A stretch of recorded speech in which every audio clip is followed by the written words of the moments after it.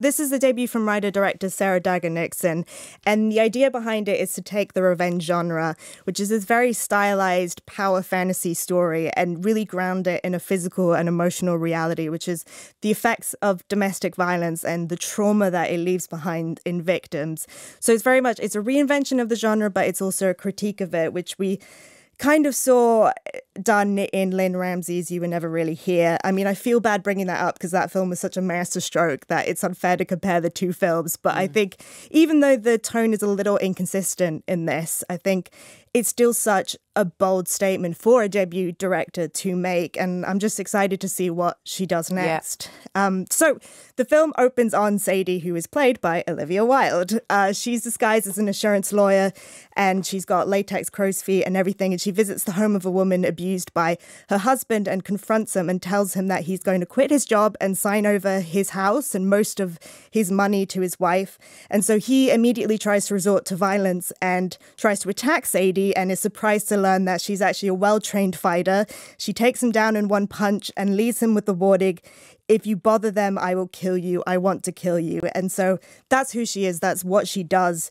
She helps people be free of their abuses for good. And so I liked the way that it was shot in this very cold yeah. and exact way. It's set in wintry upstate New York, and the soundtrack is punctured by this very aggressive percussion. So it's a revenge fantasy without the pleasure or satisfaction behind it because Sadie is just driven by this sense of duty. And as the film unfolds, you kind of find out why and what drives her. And I think this film as well had a very truthful representation of PTSD as both an emotional and physical disorder because Sadie Sadie is a survivor of domestic abuse and she is at one point triggered by hearing this song and she has a completely physical reaction to it. She collapses from the weight of it and she's struggling to breathe. And it is a physically painful experience. And it helps us connect the dots of why she's doing this because she, you know, she wants to be strong to have some kind of yeah. control over her body. And that relies so much on Olivia Wilde's performance because she just gives her all to this and she mm.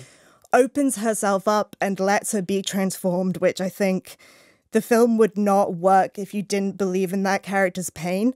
And I think she absolutely sells it, and it's a really spectacular performance. I think my only small problem with it is that it still feels this pressure to deliver on the genre aspect and still be a thriller. And so it just towards the ending, it takes a few steps too far into the traditional yeah. conventional thriller, which is a shame because the rest of it is so subtly done and it handles the ideas of abuse really thoughtfully and sensitively. So, but I think as a debut film, it's really impressive. Yeah, it's really, it reminded me of kind of Eleanor Winter's Bone, that kind of confidence of a filmmaker sort of thing. It's brilliant.